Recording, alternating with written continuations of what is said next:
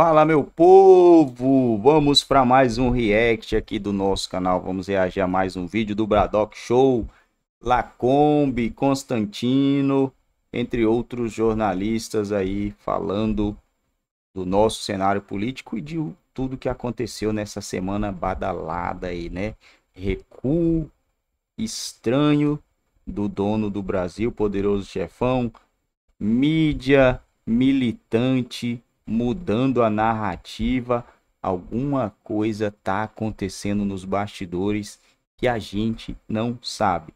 Até porque a mídia ela tem acesso à informação antes mesmo da gente, né? A gente já viu aí a mídia militante soltar algumas informações antes até que os advogados de alguns é, indiciados aí pelo poderoso chefão tivesse acesso aos autos, né? Então a mídia recuou alguma informação elas têm aí sobre o que está acontecendo no embate entre o milionário, o bilionário e o chefão do Brasil. Vamos lá ver o vídeo. Para inventar tudo isso que ele publica. Bom, vamos lá, porque teve é, novas informações sobre os arquivos do Twitter Brasil, né? Arquivos do Twitter Brasil 3, né? terceira parte é, novas informações foram divulgadas e mostram que perfis ligados à esquerda também foram censurados na rede, mas é, consta tudo por conta da discussão sobre é, aquela ideia, né, aquele, aquele, projeto, aquele objetivo de propor é, melhorias para o nosso sistema eletrônico de votação no Brasil. Só que esse é um assunto que continua proibido. Né? O simples debate sobre esse assunto ele, ele já está, continua, infelizmente, sendo tratado como uh, criminoso. É, em algum momento, eu acho que uh, os comentaristas independentes, os jornalistas sérios, vão ter que ter coragem de furar essa bolha, né? Essa espiral de silêncio. É um tabu hoje em dia, mas nós temos que ter a liberdade e temos todo o direito de questionar o processo eleitoral no Brasil. Isso não pode ser algo considerado criminoso. Não pode. Senão, fecha o país. Né? Eu desconheço democracia em que o cidadão eleitor não possa criticar, questionar ou até mesmo julgar culpado, condenado, né, fraudulento, o processo eleitoral do seu país. Aqui nos Estados Unidos é muito comum, quando pede um democrata, ele dizer que não perdeu, quando pede um republicano, dizer que não perdeu. É do jogo. É, agora, que o nosso tem pouca transparência, não resta a menor dúvida, e, e a passagem do jornalista português, que esse tem mais liberdade, né? porque uh, em que pese ser detido pela Polícia Federal por horas no aeroporto e tudo, ele não é brasileiro, então é mais difícil prendê-lo, né? É, mas Sérgio Tavares, na Câmara, tocou na ferida desse assunto. Falou: não vou nem entrar na questão de é, fraude eleitoral em si a manipulação por parte dos árbitros que tinham torcida, que tinham viés, já é algo consumado. Isso foi fato. E em, em países sérios, isso já seria suficiente, talvez, para uma nova eleição. Né? Mas, deixando isso de lado, Lacombe, eu não gosto da narrativa de que é, Twitter Files 3, esquerda também foi alvo. Essa chamada que eu vi, o Eli Vieira, um cara sério, botou o Dave Aga, mas essa chamada ela é enganosa. Por quê? Porque não há um esquerdista sem passaporte com censura prévia por ter criticado o Alexandre de Moraes. Não há essa perseguição, não há equivalência. Não há equivalência nenhuma no grau de perseguição e censura a conservadores e ao que aconteceu pontualmente a um ou outro esquerdista. Pelo contrário, eles têm total salvo-conduto para chamar é, presidente de poder de casa de excrementíssimo, eles têm salvo-conduto para fake news, eles têm salvo-conduto para é, tudo, discurso de ódio, tudo eles têm salvo-conduto. Então existe um duplo padrão. Não podemos é, fingir que existe uma equivalência e que o Alexandre persegue a tudo e todos de forma isonômica. Isso não é verdade.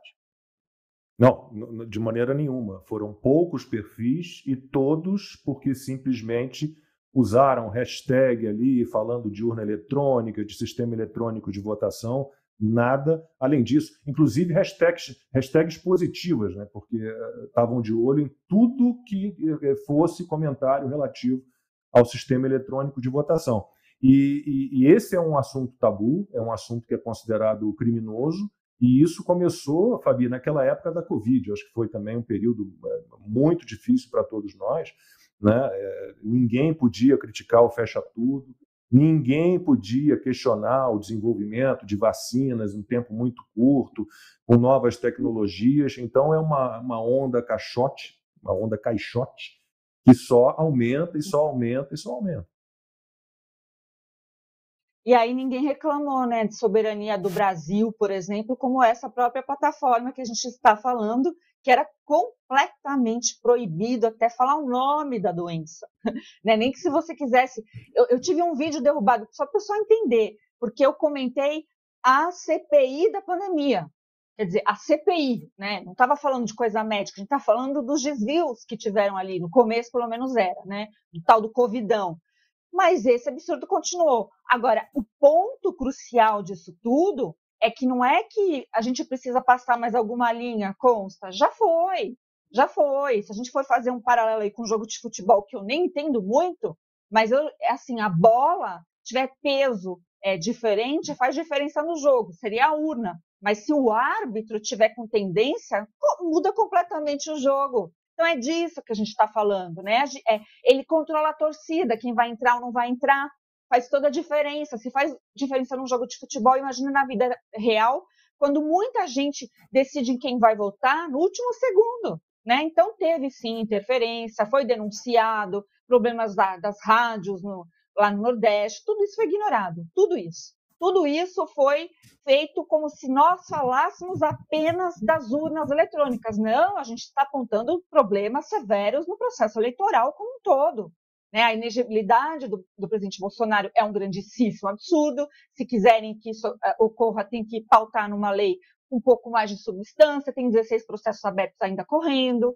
Estão né? segurando por quê? Porque o máximo que pode acontecer é ele ser condenado pelo que ele já está condenado. Então, estão segurando para ver e aí a gente ouve umas coisas tipo assim: ah, o ministro Alexandre de Moraes hoje decidiu arquivar aquela denúncia que o presidente Bolsonaro teria ido se refugiar na embaixada. Aí eu vejo um monte de gente deslumbrada falando: olha, o, o Alexandre de Moraes está recuando. Não tá, gente. Não deixa quem fale isso para você te iludir. Não está recuando nada. Sabe por quê? Porque as consequências principais dessa ação são as cautelares, não foram levantadas. O presidente Bolsonaro continua sem poder ter, por exemplo, acesso ao passaporte dele, que é um grande absurdo. Né? Então, só é, deixou aquilo de lado para tentar dar esse ar e uns tontões aí repercutir do nosso lado mesmo. Não tem essa. A gente só vai sentir que está aliviando de fato quando a gente vê medidas concretas. E quais? O Congresso Nacional se comprometer através das suas lideranças, o Arthur Lira parar de ficar conversando com o presidente de partido sobre pautas que não interessam brasileiro, o Senado parar de ficar é, caçando borboleta e falando de fair play de futebol num momento como esse, né? Tudo isso, essas viagens ao exterior que, sinceramente, tem me incomodado a beça, porque a gente está cheio de problema aqui no Brasil, né? Os ministros do Supremo estão viajando para dar palestrinha. E aí, tá tudo bem para vocês? Para mim não. Mas eu, como cidadã comum, o que a gente pode fazer? Fazer isso que a gente está fazendo, cornetando e parecendo um chato de galocha, ó vidas, ó céus. Mas, gente, né? Porque precisa chamar o povo à realidade. Então, gente, vamos desmistificar a coisa. Alexandre de Moraes não está com medo, não está recuando. Isso quem fala para vocês está mentindo. E como eu sei, tudo continua. Felipe Martins continua preso, sem ordem específica, né, com uma prisão conflitante, que, que deveria ser pro bono, é, deveria ser pro réu, vários outros dá para apontar, Coronel Naime, né, todas as medidas estão ali, e o sigilo dessas, dessas investigações permanece. E quer mais um, só para dar um plus aqui, notícia de última hora, o presidente da OAB está lá junto, tirando uma fotinho com quem? Com Pacheco. Por quê? Porque tem eleição na OAB. Olha que mundo maravilhoso que faz de conta, não é, gente? Pois é, esse Brasilzão aí o pessoal finge né, que a gente está num outro, um outro universo paralelo, mas não estamos.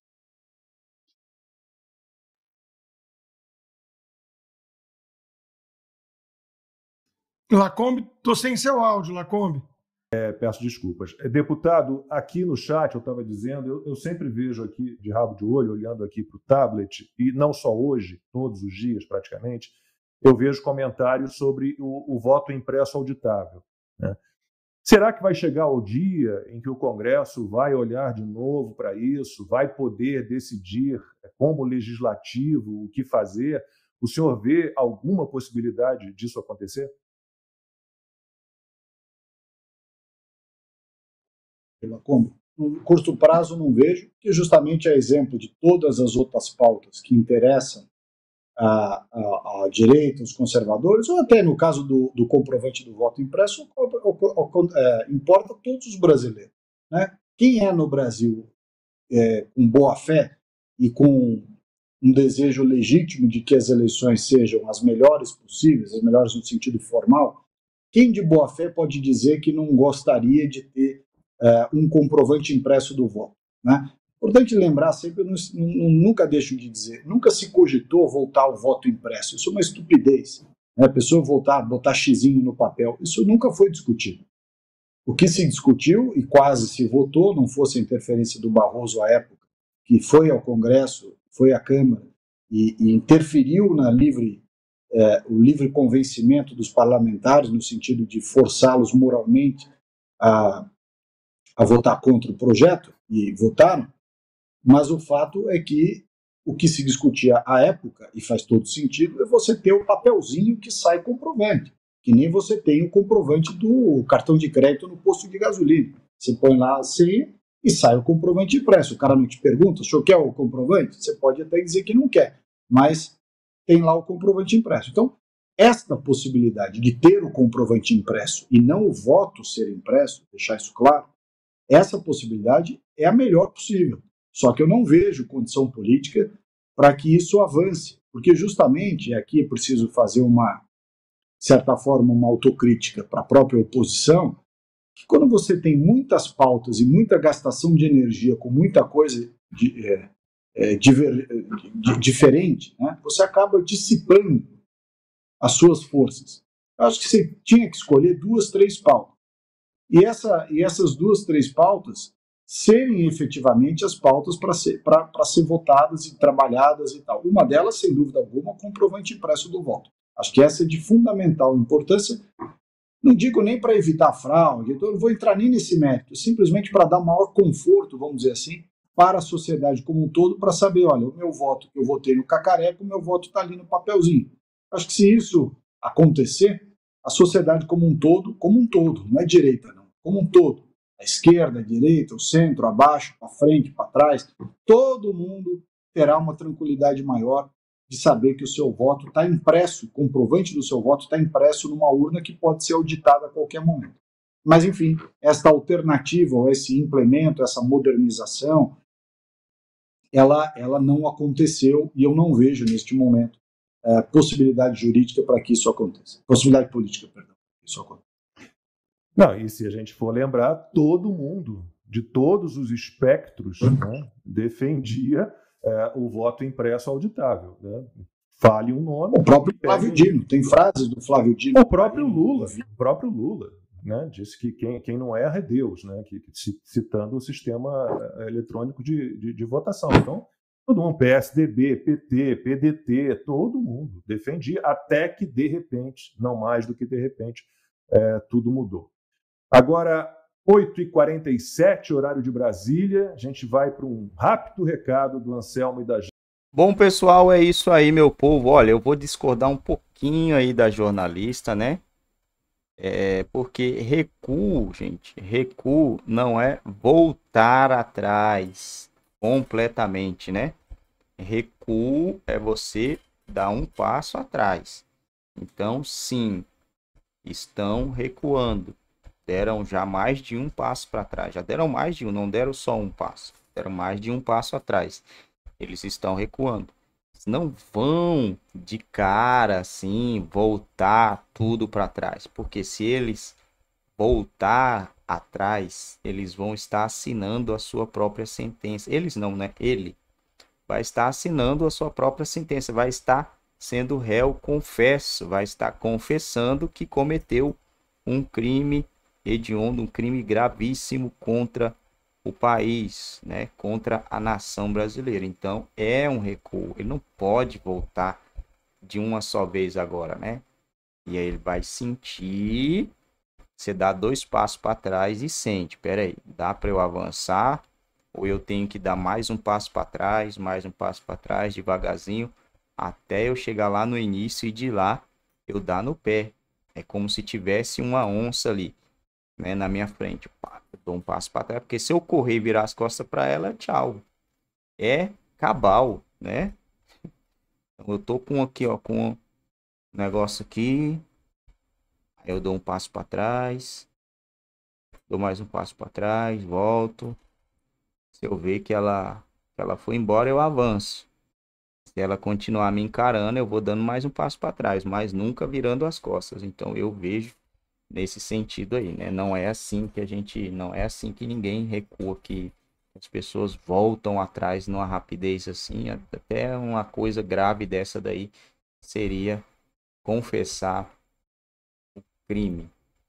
O Comitê da Câmara dos Estados Unidos intima mais uma plataforma para esclarecer ordens de retiradas de conteúdo do STF. Gente, vamos ler isso aqui mais a fundo, né? Então, o bicho tá pegando, né? Como diz o Elon Musk, ele não pode é, pegar e acatar uma ordem e ele sabe que não é constitucional, uma ordem inconstitucional e aí, se ele fizer isso, ele estaria cometendo, ele estará cometendo um crime no país dele, né? Então ele pode ser é, até preso, não sei, né? Pode, vai que pode ser preso porque ele está cometendo um crime que é no país dele, obedecendo uma ordem que é uma ordem de uma ordem tirânica, né? Assim que fala, será uma ordem tirânica? E aí pode acabar azedando para o lado dele. Então o que, que ele fez? Levou as provas lá e de agora para frente é que o negócio vai tomar força. Eu acho que vai tomar mais força ainda. Não sei quando será as, maqui as maquininhas lá no, nos Estados Unidos, né? Possível volta do Donald Trump. Se ele voltar, ele vai querer bater em cima, porque ele curte o Brasil, né? Curte a parceria aí com o Brasil e existe chance sim de sanções ao nosso país. Nosso país já sofre tanto com a corrupção, com a safadeza desses políticos. Se o Brasil sofrer alguma sanção dos Estados Unidos, o negócio pode ficar muito feio para a população brasileira, porque os poderosos vão continuar tendo a teta deles lá, né? Infelizmente, eles vão continuar tendo, vai diminuir bastante, mas eles não vão passar pelo que a população mais pobre pode vai passar caso o Brasil sofra isso. O Comitê Judiciário da Câmara dos Estados Unidos emitiu uma intimação para a plataforma Rumble. Rumble. Ah, é a Rumble.